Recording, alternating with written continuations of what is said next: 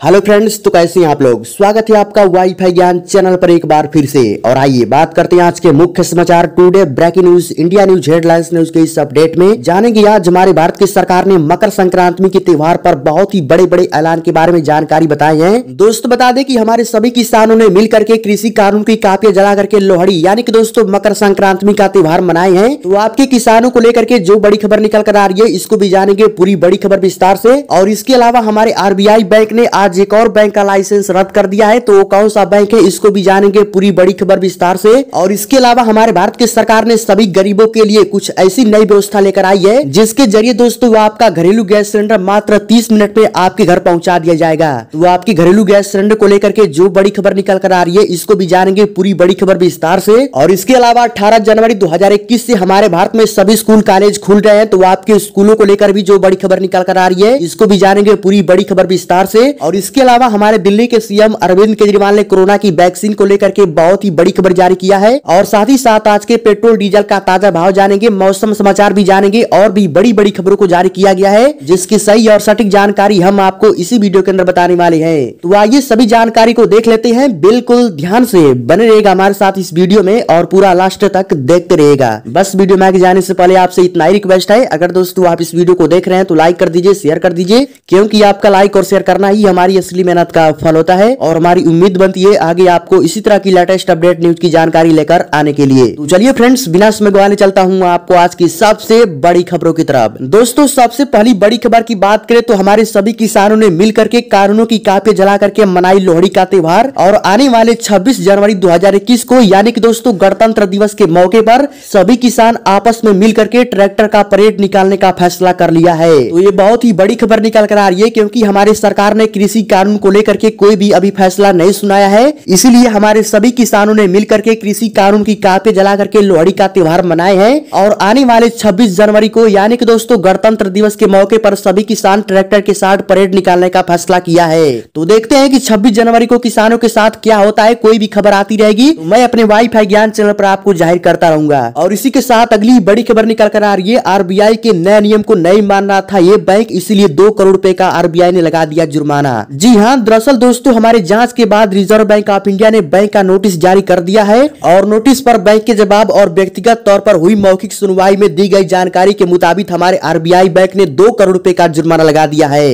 वैसे में आपको यह खबर जानना ज़रूरी था क्योंकि हमारे आरबीआई बैंक तरह तरह के बैंकों पर जुर्माना लगा रहा है और फाली आज हमारे मकर संक्रांति के त्योहार के बाद हमारे आरबीआई बैंक ने दो करोड़ रूपए का जुर्माना लगा दिया है। तो दरअसल बात कुछ ही बना दोस्तों की हमारे आरबीआई बैंक के, यानी कि दोस्तों, रिज़र्व बैंक ऑफ़ इंडिया के तरह तरह के नए नियम जारी हो रहे हैं और ऐसे में जो बैंक आरबीआई के नए नियम को पालन कर रहा है, वो बैंक तो सेफ़ है, लेकिन ऐसे में जो बैंक आरबीआई बैंक के खिलाफ जा रहा है, उस पर जुर्माना लगाया जा रहा है और ऐसे में आज एक फिर बैंक आरबीआई के नए नियम के खिलाफ गया है, जिसका नाम है डोएचे बैंक यानी कि दोस्तों, अगर आपका डोएचे बैंक में खाता है तो ऐसे में आप जान लीजिए कि हमारे आरबीआई बैंक ने, यानी कि दोस्तों रिज़र्व बैंक ऑफ़ इंडिया ने दो करोड़ रूपए का जुर्माना लगा दिया है। तो अगर आपका भी डोएचे बैंक में खाता है तो अपने पैसे को जल्दी से जल्दी निकाल लीजिए क्योंकि हमारे आरबीआई बैंक ने डोचे बैंक पर दो करोड़ रुपए का जुर्माना लगा दिया है। तो ऐसे में इस समय आपका किस सरकारी बड़े बैंक में खाता है, अपने बैंक की जानकारी हमें नीचे कमेंट करके आप ज़रूर बता दीजिएगा, ताकि अगर आपके बैंक की भी कोई जानकारी आएगी तो सबसे पहले मैं अपने वाईफाई ज्ञान चैनल पर आपको ज़ाहिर कर दूँगा। और इसी के साथ अगली बड़ी खबर निकल कर आ रही है। अरविंद केजरीवाल का बड़ा फैसला, केंद्र सरकार नहीं लगवाएगी वैक्सीन तो आप सरकार लगवाएगी वैक्सीन। जी हाँ दोस्तों, दरअसल हमारे आम आदमी पार्टी का बहुत ही बड़ा ऐलान निकल कर आ रहा है। अगर दोस्तों हमारे भारत की सरकार जनवरी के अंत में कोरोना की वैक्सीन नहीं लगवाएगी तो हमारे मुख्यमंत्री अरविंद केजरीवाल कोरोना की वैक्सीन लगवाना शुरू कर देंगे। तो ये बहुत ही अच्छी खबर निकल कर आ रही है उन सभी लोगों के लिए जो दिल्ली राज्य से बिलोंग करते हैं, क्योंकि हमारे दिल्ली के सीएम अरविंद केजरीवाल ने बहुत ही बड़ा फैसला ले लिया है। अगर हमारी केंद्र सरकार वैक्सीन लगवाती है तो ठीक है, वरना हमारे दिल्ली के सीएम अरविंद केजरीवाल खुद ही दिल्ली में वैक्सीन लगवाना शुरू कर देंगे। और इसी के साथ अब अगली बड़ी खबर निकल कर आ रही है। अब सिर्फ़ तीस मिनट में पहुंचेगा आपके घर एलपीजी सिलेंडर एक फरवरी से शुरू होने जा रहा है नई व्यवस्था। जी हाँ दरअसल दोस्तों, हमारे मोदी सरकार ने सभी एलपीजी ग्राहकों के लिए बहुत ही बड़ी खबर को जारी किया है। अगर दोस्तों, आपके घर में भी एलपीजी का सिलेंडर यूज़ होता है तो ऐसे में आप जान लीजिए की हमारे मोदी सरकार ने आपको बहुत ही बड़ी सौगात दी है, क्यूँकी आने वाले एक फरवरी 2021 से हमारे मोदी सरकार कुछ ऐसी नई व्यवस्था लेकर आने वाली है, जिसके तहत दोस्तों, आपके घर एलपीजी सिलेंडर की होम डिलीवरी मात्र तीस मिनट में हो जाएगी। तो ये बहुत ही अच्छी खबर निकल कर आ रही है उन सभी लोग के लिए जिनके पास एलपीजी का घरेलू घरेलू गैस सिलेंडर है। अगर दोस्तों आपके घर में भी एलपीजी का घरेलू गैस सिलेंडर है तो आने वाले एक फरवरी दो से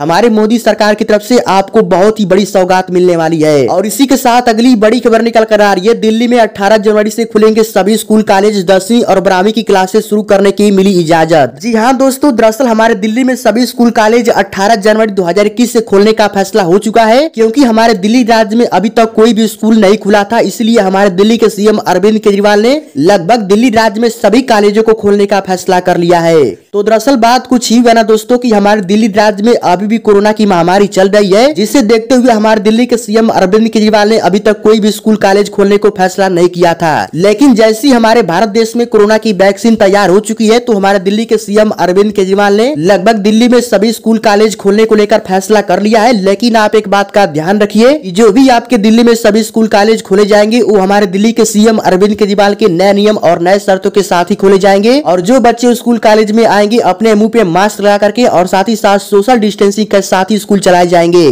तो आप इन बातों को ध्यान में रख लीजिए, लेकिन आपके लिए एक बहुत ही बड़ी खुशखबरी भी है, क्योंकि हमारे दिल्ली के सीएम अरविंद केजरीवाल ने कोरोना की वैक्सीन का टीका लगवाने का फैसला कर लिया है। अगर हमारे भारत की सरकार जनवरी के अंत में कोरोना की वैक्सीन नहीं लगवाती है तो हमारे दिल्ली के सीएम अरविंद केजरीवाल खुद ही दिल्ली में कोरोना की वैक्सीन लगवाने का फैसला कर लिया है। तो ऐसे में अगर आप भी दिल्ली राज्य से आते हैं और अगर आपके घर में कोई भी छात्र है तो आने वाले अठारह जनवरी दो से लगभग हमारे दिल्ली राज्य में सभी स्कूल कॉलेज खुल जाएँगे। ऐसा कुछ हमारे दिल्ली के सीएम अरविंद केजरीवाल ने फैसला कर लिया है। चलिए इसी के साथ अब बात करते हैं अगली बड़ी खबर की। आज फिर बढ़ गए पेट्रोल और डीजल के दाम। फटाफट चेक करें अपने आज के नया रेट। जी हाँ दरअसल दोस्तों, हमारे पेट्रोल और डीजल का दाम आज फिर से बढ़ गया है। अगर दोस्तों, आप चाहे किसी भी राज्य से आते हैं तो अपने राज्य और अपने शहर का पेट्रोल और डीजल का ताज़ा भाव जान ले, वरना दोस्तों, आपको पेट्रोल पंप पर तेल भरवाते समय आपको ज़्यादा दिक्कत का सामना करना पड़ सकता है। तो दरअसल बात कुछ ही हुआ ना दोस्तों की हमारे भारत की सरकार ने मकर संक्रांति के त्योहार के बाद पेट्रोल और डीजल के दाम में लगभग तिरासी रूपए ऐसी इक्यानवे रूपए कर दिया है। यानी कि दोस्तों लगभग सात से आठ रूपए आपका पेट्रोल और डीजल का दाम बढ़ गया है। यानी कि हमारे सरकारी तेल विपणन कंपनी ने पाँच दिन की शांति के बाद बुधवार को पेट्रोल और डीजल के दाम में लगभग दोस्तों आठ ऐसी सात रूपए की बढ़ोतरी की है।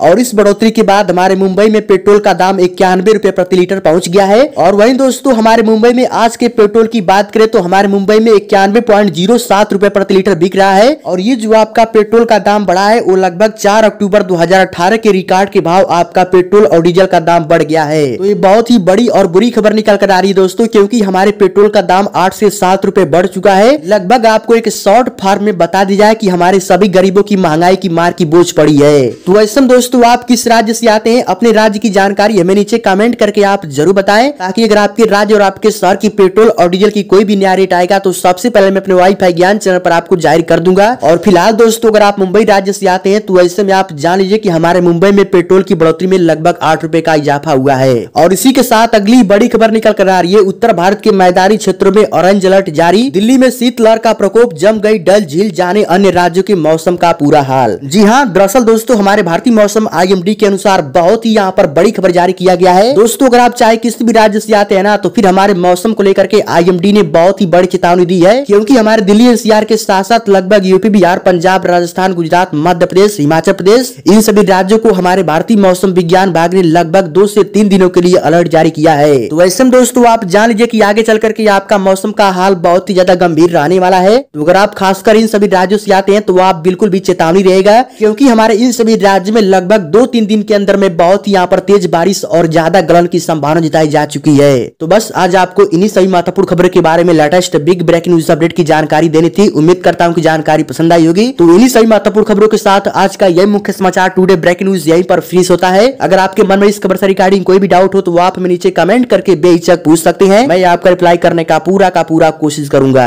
तो चलिए मिलते हैं एक और वीडियो में, एक और अपडेट्स में। तब तक लिए जय Hind, see the next video.